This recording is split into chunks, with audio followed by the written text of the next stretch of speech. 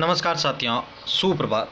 आज है 18 जुलाई 2021 और आज के मुख्य शिक्षा समाचारों के ऊपर हम जब भी जो है नज़र डालने वाले साथियों, आज के मुख्य हाईलाइटेड पॉइंट के अंदर देखिए बोर्ड परीक्षा रिज़ल्ट पर नई अपडेट के बारे में प्रदेश में स्कूल पुनः शुरू होने के बारे में और कंप्यूटर शिक्षक भर्ती के बारे में नई अपडेट सरकारी विभागों में बम्पर भर्तियाँ और सेना रैली भर्ती का मौका। इसके अलावा भी बहुत सारी जो है शिक्षा समाचारों के ऊपर हम नज़र डालने वाले हैं तो चलिए शुरू करते हैं।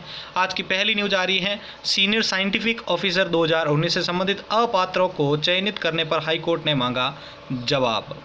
दूसरी न्यूज़ आ रही है साथियों, एक अक्टूबर से नया सत्र 30 सितंबर तक एडमिशन होंगे। यानी 30 सितंबर तक जो है एडमिशन शुरू होने जा रहे हैं। यूजीएस, यूजीसी के नए अकादमिक सत्र के लिए शैक्षणिक कैलेंडर जारी कर दिया गया है। महामारी के मद्देनज़र ऑनलाइन, ऑफलाइन दोनों माध्यमों से रहेगी, जारी रहेगी यूजीसी की पढ़ाई। ठीक है ना? तीस सितंबर तक एडमिशन एडमिशन चलेंगे और एक अक्टूबर से नया सत्र शुरू हो जाएगा। आगे बढ़ते हैं साथियों ग्रेजुएट्स के लिए खुशखबरी। पाँच क्लर्क की भर्ती के लिए नोटिफिकेशन जारी हुआ है। ठीक है ना? और इसमें योग्यता है जो इस भर्ती का प्रक्रिया का हिस्सा बनने के लिए उम्मीदवार का किसी मान्यता प्राप्त या सरकारी संस्थान से ग्रेजुएट होना ज़रूरी है। इसमें आयु सीमा आपके 20 से लेकर 28 वर्ष तक रखी गई है। तो पाँच हज़ार आठ सौ अट्ठावन क्लर्क के पदों पर अगर आप आई के अंदर अप्लाई करना चाहते हैं तो आप ज़रूर अप्लाई कीजिएगा साथियों। नोटिफिकेशन जारी हो चुका है, आप भी उसको समझ के जो है अप्लाई ज़रूर कीजिएगा। आगे की न्यूज़ आ रही है साथियों, एम्स में एक सौ सैंतालीस प्रोफेसरों की भर्ती। अखिल भारतीय आयुर्विज्ञान संस्थान एम्स कल्याणी ने assistant professor associate professor additional professor और प्रोफेसर के पदों पर भर्ती के लिए आवेदन आमंत्रित किए हैं। इस भर्ती अभियान के तहत एक फैकल्टी पदों को भरा जाएगा। आगे बढ़ते हैं साथियों और आगे की न्यूज़ को ले लेते हैं। आगे की न्यूज़ आ रही है दसवीं पास युवाओं के लिए नौकरी का सुनहरा मौका। एसएससी जीडी परीक्षा में आवेदन शुरू। पच्चीस हज़ार से अधिक पदों के लिए नोटिफिकेशन जारी। साठ दिनों के स्पेशल कोर्स से होगा आपका। चयन एक सौ अड़तालीस घंटे की लाइव क्लासेज होगी। एक सौ अस्सी आपके पीडीएफ नोट्स होंगे, ठीक है ना? और 20 प्लस घंटे के लाइव मॉक टेस्ट होंगे और लाइव क्लास में डाउट पूछने की सुविधा रहेगी। सभी क्लास के रिकॉर्डेड बैकअप मिलेंगे आपको और रिवीजन व प्रैक्टिस पर विशेष ध्यान और राजधानी के अनुभवी टीचर्स द्वारा आपको पढ़ाया जाएगा।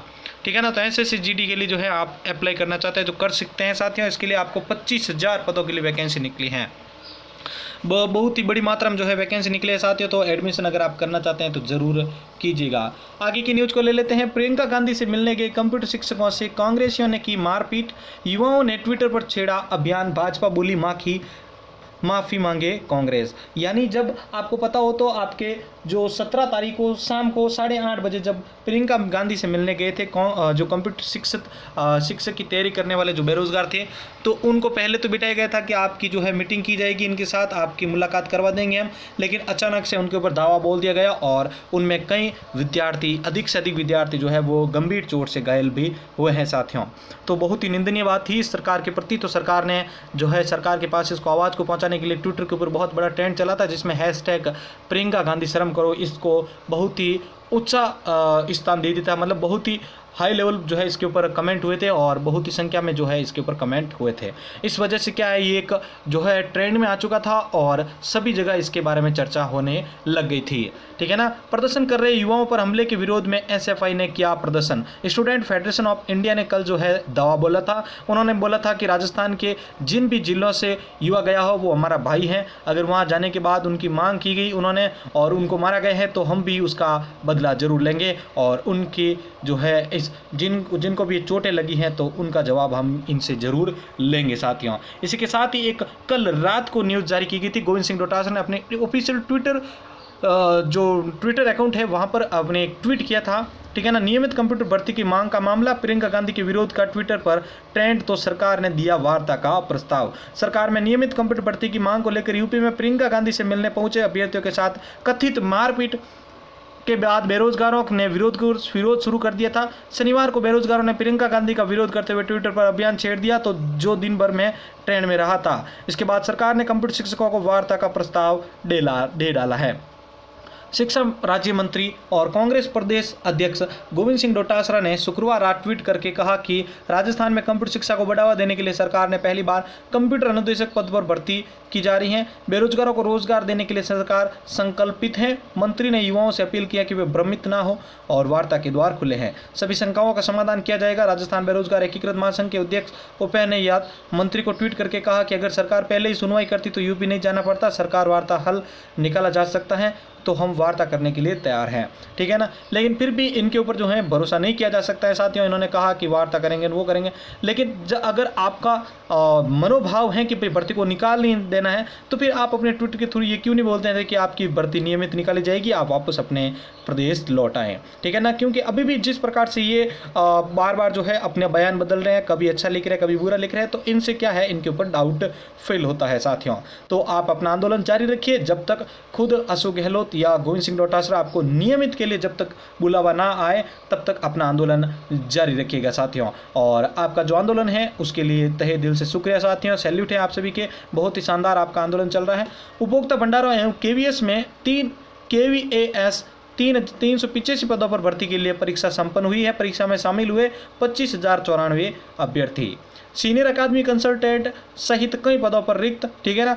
केंद्रीय शैक्षिक प्रौद्योगिकी संस्थान सी के अंदर ये भर्ती आई हैं। सीनियर अकादमी consultant technical team lead mobile app lead developer database administrator consultant अनुवादक इत्यादि के अंदर 30 पदों पर वैकेंसी आई है और 40 से 45 तक इसके लास्ट आयु रखी गई है मैक्सिमम प्रोजेक्ट एसोसिएट एंड विभिन्न पदों पर खाली वैकेंसी आई है। भारतीय रसायन प्रौद्योगिकी संस्थान के अंदर पदों का विवरण दे के project associate first and second senior project associate information officer ठीक है ना? जूनियर रिसर्च फेलो के अंदर जो है, इन सभी की जो है कुल मिला के इक्कीस पोस्ट आई है और पैंतीस या चालीस वर्ष तक आपकी अंतिम अधिकतम आयु रखी गई है। इसके लिए आपका स्टाइप एंड रखा गया है पच्चीस हज़ार रुपये से बयालीस हज़ार रुपये तक तथा अन्य भत्ते भी इसके अंदर शामिल किए गए हैं।